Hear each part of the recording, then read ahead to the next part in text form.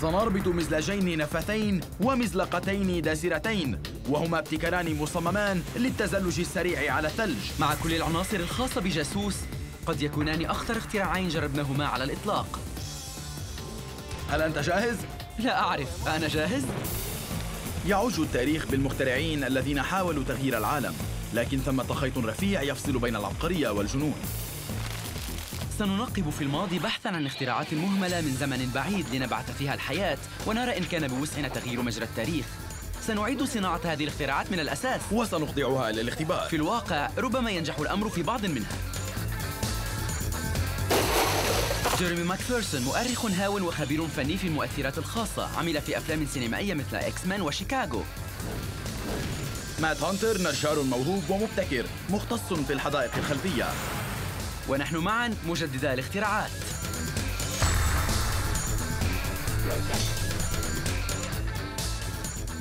ما علاقة الطائرات والمراوح والحقائب الصاروخية بأشهر هواية شتوية؟ ابتكاران جنونيان من القرن العشرين. انظروا إلى هذا. داسر كبير يعطي مزلقتين دفعاً ابتكره عام 48 المخترع الأمريكي هوريس موريل.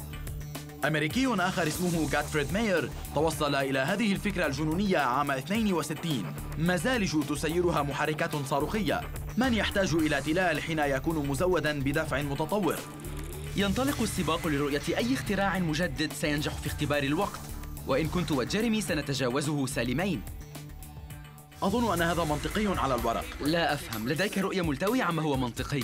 ما الذي لا تفهمه؟ ثمة مزلجان ومسدسات ليزر. لو كانت مسدسات ليزر شعرت بقلق أقل. لكن هناك مزلاجين مزودين بدفع نفاث أو صاروخي. هذه فكرة سيئة. ينجح ذلك على الثلج وفي الفضاء. كيف يعقل أن يسوق؟ لنلقي نظرة. حسناً. علينا تقرير إن كنا سنستخدم صاروخاً أو محركاً نفاثاً في الخلف. لأن المزالج يسهل إيجادها نعم. في كل مكان. التكنولوجيا في الخلف متوازنة بفعل نظام الكبح البدائي هنا. أنا أحب هذا الجزء. جاهز سوف أشغله. شغلته وأزلت المكابح. لا بأس به. هذا ليس سيئاً يبدو جميلاً. سوف تشارك في الاختبار. ستجرب نعم. هذا أنت يا صديقي. حسناً الثلج ناعم على الأقل ولكن الجليد صلب أنا أحب التزحلق وقد ينجح ذلك إن وضعنا داسراً في الخلف اشترينا كمية من أجهزة الدفع المساعدة للبشر على الثلج فلنجربها على الجليد.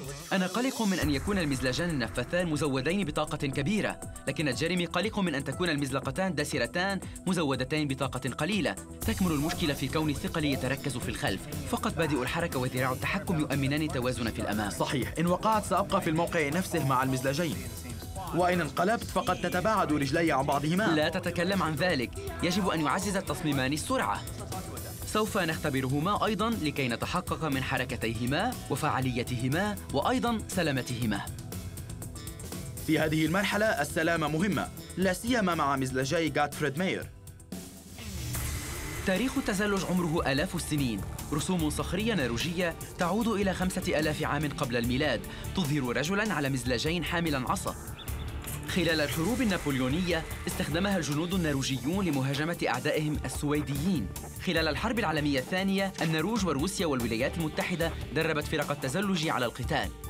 خلال الحرب الباردة تخيل جارتفيد ماير جواسيس يندفعون على الثلج بسرعة خارقة لجدار الصوت ولكنه لم يحدد من أين سيأتي بالطاقة.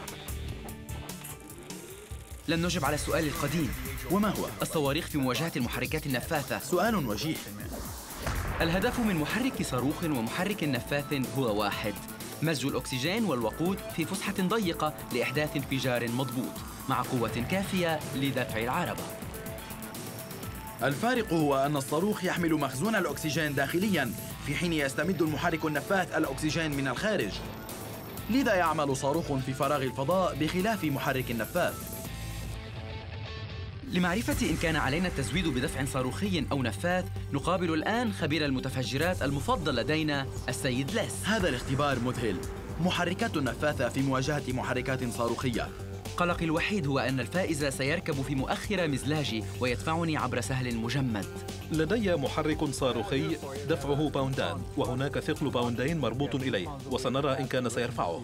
الدفع قياس القوة قوة محرك صاروخي أو نفاث بالمقارنة مع جاذبية الأرض إطلاق باوند من المواد يتطلب باوندا من الدفع. نرى الدفع حين نترك بالونا منفوخا. قوة الهواء تجعله يطير بالاتجاه المعاكس. السؤال هو ما هي قوة الدفع التي تتطلبها مزالج ماير؟ اختبارنا الأول يبدأ بباوندين من الدفع يطلقان في الجو. أنا مسلح؟ حسناً. لم يرتفع جواً. لا. يبدو أن الثقل أنزله. لا يمكننا كسر الجاذبية. لنحافظ على الوزن نفسه والقوة الصاروخية نفسها ونمدده أفقياً لكي نرى كيف سيعمل. إذا لدينا قوة الدفع نفسها والثقل نفسه. صحيح. لكن هذا ينطبق أكثر على اختبار التزلج الأفقي. نعم. حسنا هيا نعم. لنبدأ. أنا مستعد للإطلاق. عبر إطلاق الصاروخ أفقياً خففنا تأثيرات الجاذبية. أي يمكننا تحريك شيء إلى مسافة أبعد بدفع أقل؟ حان الوقت لرؤية إن كان بوسعنا تحريك أينشتاين. نعم هذا صحيح. لأن الاختبار الكبير وزنه 180 باوندا لنحاول. أصبح جاهزاً. يبدو كمفاعل نووي. أجل يا صاحبي. أمل ألا يكون كذلك. كم عدد الصواريخ هنا؟ 17 صاروخا. أثبتنا أن الصواريخ تستطيع تحريك غرض ثقيل على سطح أفقي.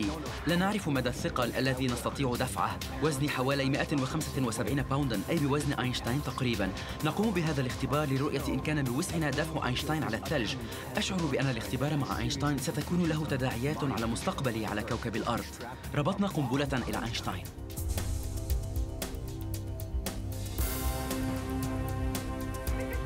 هيا هيا. هيا عزيزي. يا للهول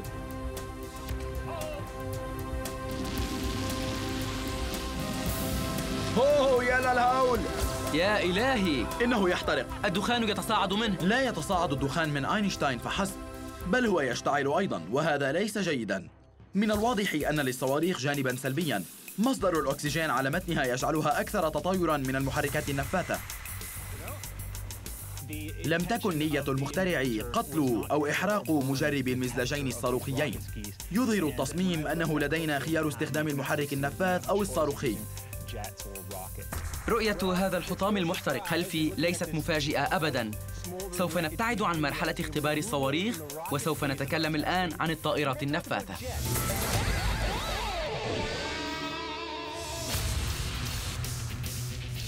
حين يتعلق الأمر بالطائرات النفاثة نلجأ إلى سلاح الجو الكندي الشهير. بعد القليل من البحث والتدقيق اكتشفت أن طائرات التدريب هذه صممت في الستينيات وهي نفس المرحلة التي صمم فيها اختراعنا. لذا إنها فرصة رائعة لنا للتعلم أكثر عن الطائرات. العريف تريسي نيكولاس يعطينا درساً سريعاً عن دفع المحركات النفاثة. إنه لأمر جنوني كون هذا المحرك الصغير يملك طاقة كافية لدفع طائرات سنوبيرد هذا المحرك يولد دفعا قدره 2700 باوند و16500 دورة في الدقيقة. هذا مبهر ولكنه أكثر مما نحتاج إليه. لذا أحضرنا محركا نفاثا مصغرا يستخدم لتشغيل الطائرات الصغيرة. إليك خطتنا تريسي. أريد الانطلاق على مزلاجين عبر الثلج مع محرك نفاث في مؤخرهما. صحيح. اشترينا هذا المحرك في طريقنا إلى هنا. إذا هذا المحرك ب 120 يحقق 123 ألف دورة في الدقيقة. سريع جدا ولكن قلقي الأكبر كطيار يتمثل بحرارة البخار المنبعث. تبلغ حرارته 600 درجة مئوية وهذا أمر خطير. لا محالة. تعمل طائرات سنوبيرد في ظل درجة أكثر ارتفاعا عند 663 درجة. هذا رائع. أضع محرك سنوبيرد مصغرا في مؤخر المزلاجين. رائع. أتريدان تشغيل أحدها؟ طبعا. إذا هيا بنا. المحطة التالية مركز التشخيص حيث تفحص المحركات النفاثة وتراقب عبر الكمبيوتر. ها قد انطلق. إنها قوية. نرى من هنا قوة هذه المحركات النفاثة. طبعا نظر العريف نيكولاس إلى محركنا الصغير نعم. ويبدو أن الطاقة كافية لإطلاق متزلج عبر الثلج. شكرا جزيلا. شكرا. شكرا لكم. إلى اللقاء. بالرحب في والسعة. حين تنتج محركاتنا النفاثة الصغيرة حرارة أكثر من السنوبيرد علينا استخدام محركين لنحظى بدفع كاف لحمل شخص. نعرف أن هذه المحركات النفاثة خطرة كالصواريخ. نريد إشعال هذا هنا لأنه سيوضع في مؤخر مزلاجي. أداء هذا المحرك يثير اهتمامي. حسنا أيها الرفيقان لنفعل ذلك. هيا. بمساعدة لاس نشغل محركنا الصغير للمرة الأولى لنحصل على فكرة أفضل عن قوته. يروقني ذلك لديه دفع كبير. بالكاد أستطيع حمل هذا وإن لاحظت الوضع خطر هنا. رغم أننا نبعد ستة أقدام لدي بعض المخاوف كمتزلج يسحب الكثير من الهواء. أنا قلق من دخول الرطوبة أو الثلوج. حسناً لا أعلم ما رأيك أنت؟ هذا صحيح ربما علينا رفعه عن الأرض ووضعه على مسند كما أنه يمكننا ربط مزلاجين إليه كي لا يتباعدا مع مباشرة العمل على مزلاجي مير التجسسين حان الوقت للتركيز على النصف الآخر من مشروع الدفع البشري مزلقة موريل الداسرة السؤال هو أيهما سيبرز عند الامتحان؟ داسر أو محرك النفاث؟ هذا هو السؤال الذي أطرحه أنا ومات فيما يخص ابتكارين مصممين لدفعنا على الجليد والثلج. بعد مشاهدة أينشتاين المسكين يتحطم ويحترق فضلنا الطاقة النفاثة على الصاروخية لتسيير مزلاجي ماير. رغم الخطر الواضح مات مصمم على تجربتها. لكن أولاً علينا التركيز على التصميم الذي سأختبره أنا. كان هورس متزحلقاً متعطشاً للسرعة وابتكر هذه الفكرة عام 48 التزحلق كان موجوداً منذ آلاف السنين لكنه كان يبحث عن سرعة أكبر مما تمنحها المزلقتان العاديتان. فيما يغطي ابتكاره حجم الداسر ليست هناك معلومات كثيرة عن نوع الشفرات التي أراد استخدامها. الداسر هو مغزل وآمل أن تساعدنا شاحنة الاختبار المصغرة على اكتشاف أي نوع مناسب أكثر. أبلغت وكالة الطيران الاتحادي عن إمكانية إقلاعها؟ خلال الاختبار الأول نستخدم داسرا مزودا بشفرتين. سأبدأ بالعد جاهز؟ ثلاثة اثنان واحد. هيا. هيا. هيا عزيزتي. تحركي. رائع. لا بأس. خمس ست ثوان. هل ثلاث شفرات أفضل من شفرتين؟ نربط داسرا بثلاث شفرات لرؤية إن كان بيسعنا زيادة السرعة. هل أنت جاهز؟ حسنا عند إشارتي. ثلاثة حسناً. اثنان واحد. هيا. انطلاق بطيء. إقلاع بطيء عن خط الانطلاق يؤخر عن الإسراع. حالما تنطلق هناك مقاومة كثيرة عند الشفرة الثالثة. صحيح. نظرا لفسحتها الأكبر الشفرات الثلاث تمتص الهواء وهذا رائع إن كنا نقود طائرة ونريد إقلاعا أفضل. ولكنني لا أريدها أن تغادر الأرض لا سيما إن كنت أنا السائق. نبحث الآن عن سرقة كبيرة مع انخفاض عدد الشفرات والمقاومة والثقل. يعتمد الداسر بشفرتين. علينا الآن إيجاد أفضل محرك لتسييره. وجدنا محركا محتملا في المركز التجاري المحلي. تبلغ قدرته 15 ألف دورة في الدقيقة. نأمل أن تكون كافية. نعززه هناك قفل؟ بالاتجاه المعاكس. طبعا علينا معرفة إن كان المحرك الجديد يملك طاقة كافية لتشغيل داسر ابتداء من الشفرات الصغيرة أولا. أشعر بالهواء من الآن. ماذا ترى؟ يا للهول. هذا سريع جدا. هذا جيد. كيف نطفئ الداسر؟ ليس سيئا. إنه جميل بالفعل. نعم بالطبع. تاليا سنرى أداء محركنا مع داسن أكبر حجما وفي حال انحلت الشفرة وضعنا خوذات الحماية الخاصة بنا جاهز؟ هل نحن جاهزان؟ نعم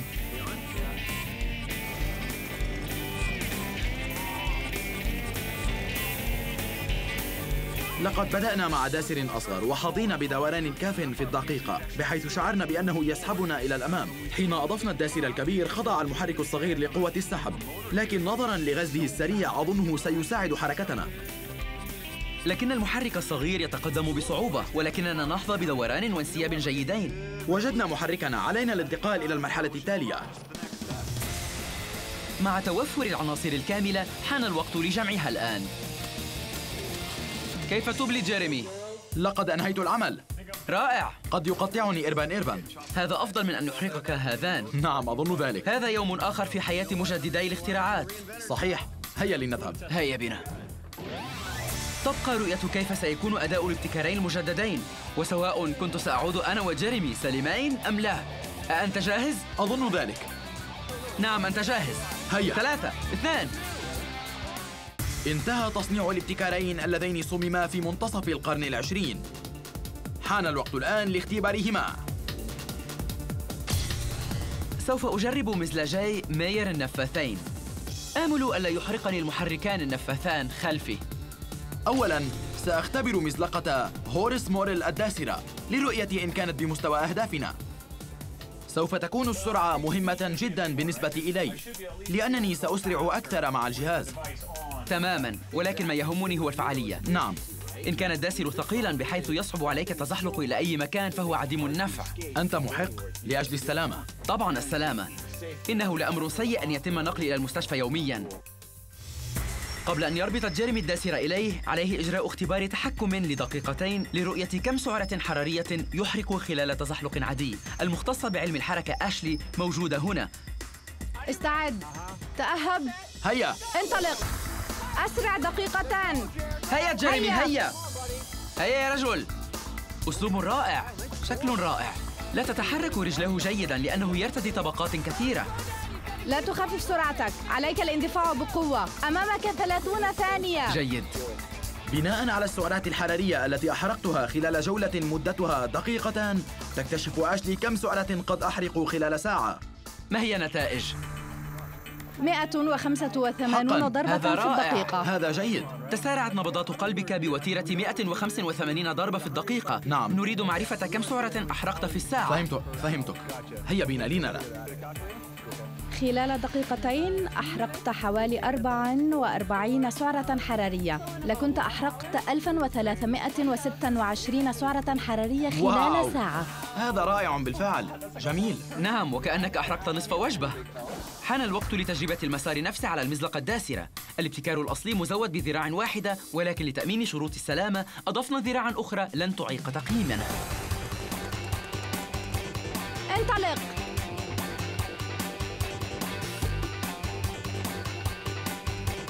أشعر بالقلق لأن دوران الشفرات يبلغ عشرة ألاف في الدقيقة. قد يقطع إربا في نهاية اليوم. أمامك عشر ثوان. قد يجتاز. خط النهاية. هيا هيا أسرع. هيا هل هيا انتهيت؟ توقف.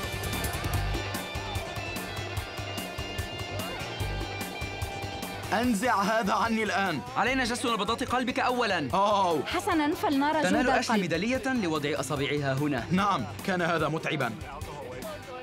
ما زال يدق بسرعة 170 ضربة في واو، الدقيقة. هذا ليس سيئا. انخفضت بوتيرة 15 ضربة في الدقيقة. ليس سيئا.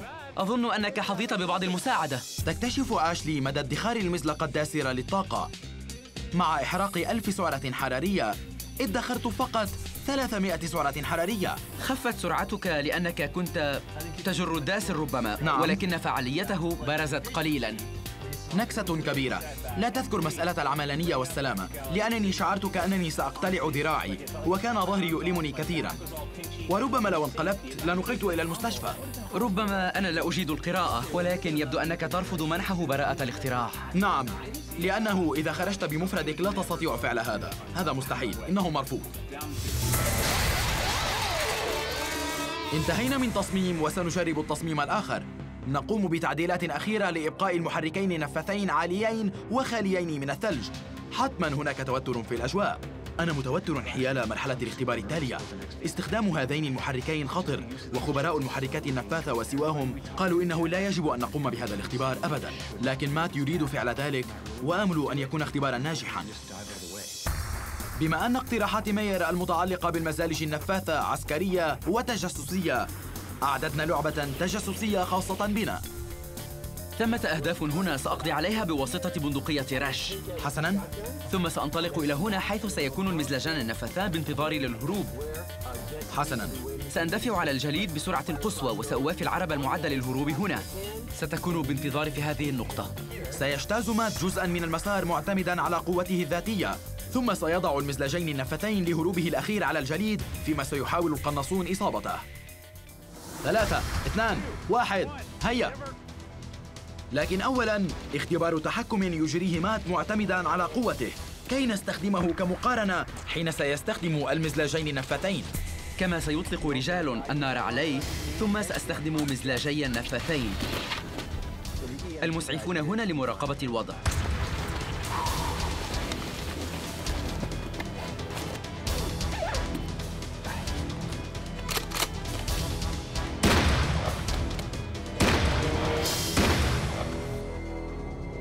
تم القضاء على الأهداف. أكرر تم القضاء على الأهداف. أقل من ست دقائق ونصف. هذا صحيح؟ ليس هذا سيئا هذا محترم. نعم قتلت شريرين أو ثلاثة. بعد استراحة قصيرة أنا مستعد للانطلاق مجددا. سأستخدم المزلجين النفاثين هذه المرة لألوذ بالفرار عبر الجليد. ثلاثة اثنان واحد. هيا!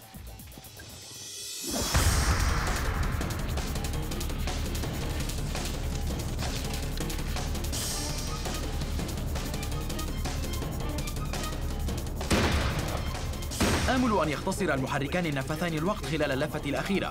فيما يطلق النار على الأشرار سأجهز أنا المزلجين النفاثين علي الإقرار بأن شعورا رائعا ينتابني حيال الجولة الثانية. طبعا سأربط محركين نفاثين عاليي القدرة على ظهري. لكن هذا يوم عمل صحيح؟ سأعد حتى ثلاثة. لا أصدق هذا. هل أنت جاهز؟ لا أعرف. أنا جاهز؟ نعم أنت جاهز. هيا. ثلاثة اثنان واحد. يخيفني ذلك. حسنا. هل ظننتم بأن المسعفين سيسمحون لي بربط محركين نفثين حول ظهر مات؟ في حين أن أفضل مجازف في المهنة ينتظر وراء الكواليس؟ ماذا عسى أقول؟ كون الحرارة كافية لتذويب الألومنيوم يستحسن أن يتولى محترف حقيقي الأمر. سأضبط ساعة التوقيت قريبا حالما يبدأ التحرك. آمل أن يدخر وقتا ويجتاز العقبة الأخيرة حسنا سينطلق المزلجان النفاثان. شغله مالس هيا بنا إذا. هيا.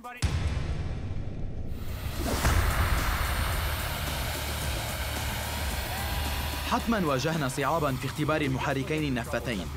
واجهنا صعوبة في إشعال كليهما وضبط دورانهما معا وبالتالي بلغت دورتهما في الدقيقة 80 ألفا وليست هذه سرعتنا القصوى أبدا. اشتغل أحدهما من دون الآخر كان أحدهما يدفع بقوة كان أينشتاين يغزل لكان هذا مصيري. فجأة سلك مسارا مستقيما وتوقف قرب سيارة الفرار. لن يكون على أي جاسوس خارق القلق حيال المنافسة لأن مهمتنا لم تجري كما خططنا لها. لم نتكبد عناء مواصلة توقيت المرحلة بسبب انقلاب أينشتاين. انظر إلى الرحلة في البداية. يسرني كوني لم أجلس على المزلاج. أدخلنا تغييرات هائلة إلى الابتكار الأصلي. كان علينا رفع المحركين النفاثين عن الثلج. نعم. لئلا يمتصا الرطوبة. هذه آلة مختلفة كلياً. إذا يجب علينا أن نتفق. رفضت براءة الاختراع. رفضت مجدداً. هيا بنا.